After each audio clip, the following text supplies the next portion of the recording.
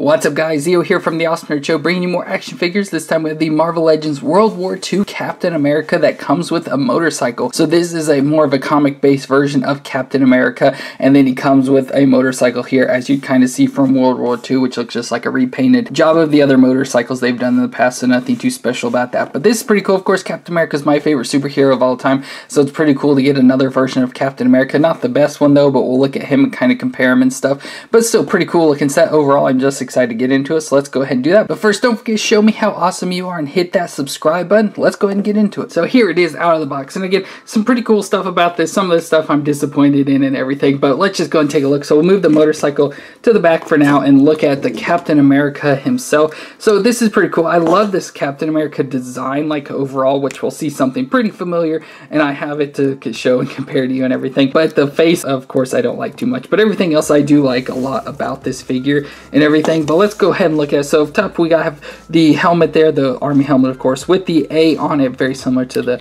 other Captain America stuff. It comes off and we have the leather mask on there, so covering his face and everything. Got it, guess has to hide his identity. But it doesn't look absolutely horrible with the helmet. I don't like the look as much with it. I don't think it's bad, but it just, I wish they would have just had like an unmasked head of it. And I don't know exactly what this uh, costume design is from. I tried looking it up and I just couldn't find it. So if you know if like there's a comic issue or something this design is from, go ahead and let me know in the comments, but I tried looking it up, but all I could find about anything is just like either from the movie or this version itself of Captain America design like this from World War II with the motorcycle. So unfortunately, I couldn't find anything about it, so I don't know why he has like this mask on and everything. But then we go down to his costume, so he has like a army jacket style jacket here. Of course, it's all blue this time, has a star and then the red and white stripes there on it to make it, of course, like the Captain America design. Has the straps over the top with the belt on here with all sorts of ammo and everything. Has the holster here on the side with the gun that's already in it, so that came on it. Ooh, and I like the US stamping there right on the top, so that's pretty cool. That's a little different than something we've seen before. And then has the blue pants with the pockets and stuff, the strap tied around it and stuff, and there with the sheath down there on the bottom for the legs for the knife. And then the brown boot coverings at the bottom covering his black boots there. And again, if you're looking at this and think it looks kind of familiar, that's because it's pretty much this is Captain America that we did in the past already, just redesigned. So if you look at it, you'll see a lot of similarities. So again, with the helmets, we have the pretty much exact same helmet. This one just obviously has the goggles on the top of it, but they're both helmets that can be removed. Have the same strap, it's just this one's a light brown, this is a darker brown. So that's really the only difference that we have there. Then of course the actual, since this is the Chris Evans version, and this is just a comic, so it has the covered up face. But the jacket designs, like the arms and everything, are exactly the same, just obviously one's blue and one's brown, and then have darker gloved hands and stuff there. And then of course the actual outfit design is different because obviously he's not showing the red and white stripes and stuff. And then this one's got a jacket piece that covers over the top. And then this one, you know, has like a double breasted type version there. And then it has the exact same design, like shoulder holster set here. So again, exact same design with all the pocket stuffs. You know, you can see the same thing, just different colors. This one's a lighter brown and green. This one's just an art dark brown with the silver paint in. it. Both have guns. I guess they both do have the US uh, stamped on them and everything. Same there. Exact same pants, different colors though. You can see blue and then the brown. And then like this one obviously doesn't have where it has the darker brown there, but the same, you know, design. Same thigh holster and everything for a knife. They both come with knife, both come with a gun and they both have the same shield just different designs and then the feet are the exact same again just different colors same shoe design and everything so that's why we've pretty much seen this before just the center body pretty much from the waist up in the center is the only thing that's different between these two versions but I don't think it's that big a difference like if this didn't have a mask this would probably be one of my favorite like comic styled Captain America figures since this one's like my favorite MCU version by far but I just wanted to point out those differences and again the MCU one came with the dirty shield where this version here comes with the clean version of the shield. So it's same kind of shield design. Obviously it's got different, so it has the peg there on the back so you can stick it on his back if you want to, or you can flip this around to give it, put it on his wrist. So you just take that and then you just clamp it on his wrist and then he's got the shield on like that and stuff. So pretty simple, nothing too hard about that and stuff. But yeah, it's got the same sort of huger shield design stuff, of course, with the blue field with all the stars, the red and white stripes and everything. So fits in there for Captain America. And then he also has the same knife as well, so that can go down into the sheath there on his legs. Again, the gun that's already in his pocket and stuff, probably the exact same gun design there as well. But it's still pretty cool overall. So the head can obviously twist around and nod. Shoulders can move up and twist all the way around. Bicep twist, double elbow joint, and the hand that can twist around and flex. Then he has an ab crunch, but again, like like the last figure too, the crunch does not work too well because of the straps wrapped around him and stuff, so it kind of limits him being able to flex. But it has a twist at the waist, the legs that can come up about 90 degrees, out to the side quite a bit, and everything twist at the thigh, double knee joint, twist right at the top of the boot, and then the foot that can flex and twist side to side. So lots of good movements there except for the ab crunch, but that doesn't really matter too much and everything.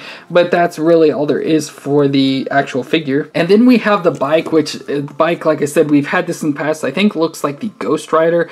Pretty much they just took and modified a little bit to look more, you know, World War II style. They painted it green and added a brown leather and stuff. But I like the design overall. It's just some of the stuff I don't like too much about it. So obviously obviously just a motorcycle, two wheels stuff. We have the engines in the center stuff. We have the little kickstand down here at the bottom. The foot pedals, the hand brakes and stuff has a little mirror to see in the back. A speedometer there on the front stuff, a shield, and then on the back, of course, the seat there. And then on the back, we have some sat compartment satchel things and stuff. The exhaust coming out of the back there. And then on the front, we have a light and everything. And then you can see we have some additional stuff. So I like the design, how what they did overall. So they added, you know, some silver and stuff to add some wear to the front of the motorcycle. They added it here on the ammo case as well well, which um, unfortunately just kind of pops on there, so it doesn't stick on very well. So all these sort of things that just stick on could pop right off super easily. So that's one thing I don't like about the design, but I think it's pretty cool. They have an ammo case to, attached there on the front of the wheel and stuff. Looks pretty cool that they added. I like the shield here on the front, or you know, the protector visor thing. How they made it. It's a piece, additional piece of plastic, as you can see there and stuff. But they made it look all wrinkly and stuff, so it looks like it's leather covered, which I think kind of would be in this sort of style and stuff. But so that looks pretty cool. Again, I like that that detail they put into it there. Then we have a holster here on the front, which has a gun. I think it's like a Tommy gun or something here that goes into it. But unfortunately, as you can see, feel like you have it on. So I have it on there, so it's staying on. But if you try and put the gun in, the magazine gets in the way, so you can't really get it in. So it pushes in, it then pops this off. And then I found when it, the gun is in the sheath, when the gun is in the holster, it won't go onto the bike. So I have to take it out, push it on as much as I can, and then just set the gun in it like that. And so that's one design I don't like about it. And again, they just easily pop right off. So that kind of stinks about that. And then again, we have the front motorcycle wheel design. So again, we have the handles can control the front here wheel and stuff. So it's on like a little hinge there so it can move back and forth. Then we go to the actual bike again, like the star here on the gas tank and stuff. Again, the engine stuff that they had paint to a little bit of paint issue going on there. And then we, I like the brown leather seat there. It adds, you know, some detail to it and everything. And then we go to the little satchel or bags here on the back and stuff. So again, the, I don't like the way this is designed. So it's pretty much just being held on with this, just sits on top of a peg. And then this side here has a little plastic piece that slides into the bag. But there are two little bags that actually open. So they have these two little strap things here that just kind of slide into what the buckles there. So you can pull them off and open them and you can kind of see inside. Yeah, there's a little green piece out. Yeah, I can't really get the light. You can kind of see it right there. The little green piece of the bike that slides in there to hold that on. And then it has also these little two peg things here, which is attaching it to the other side here. So this side is just pretty much free hanging on again. It's only being held on by this little bag here that's just sitting on a peg, which can easily pop right off. But it's pretty much a combination of this bag being held on to the bike here, and then the pegs uh, popping into this bag as well holding this bag on. As you can see, it's kind of loose and just free hanging there. So either the pegs come off there or the back comes off of the motorcycle piece, this kind of just falls right off. So I don't like that design. I wish there was something holding this on, but unfortunately there's not. And again, it's the same design. You can open up the bag and everything. So it's pretty cool they did that. Of course, nothing too major really that comes with this to put in there, but it's just a pretty cool design that they added into it. So there's the Captain America on the motorcycle. So again, pretty cool. Again, the gun doesn't fully fit in there, and when I was messing around trying to get him on, it popped off again. So that's unfortunate. And then I wish there'd be a place where you could stick the shields, like in the movie and stuff, the first Avenger movie, he took his shield, course, it was a round shield at that point and set it on the front so it had you know protection here on the front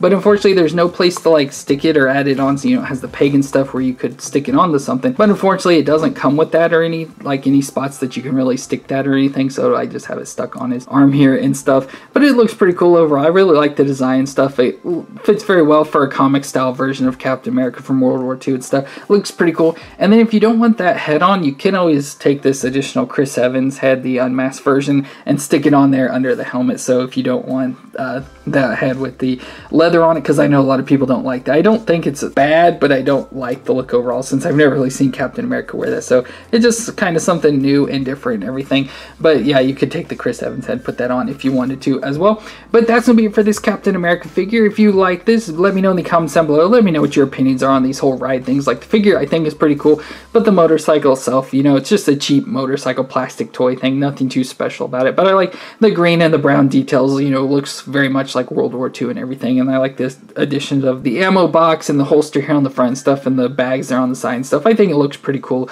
Overall, I think this looks pretty cool just in general, like this picture and stuff. So let me know your opinions in the comments. Leave a thumbs up. And of course, subscribe to the channel to see more Marvel Legends videos. Thank you all so much for watching and I'll see you next time.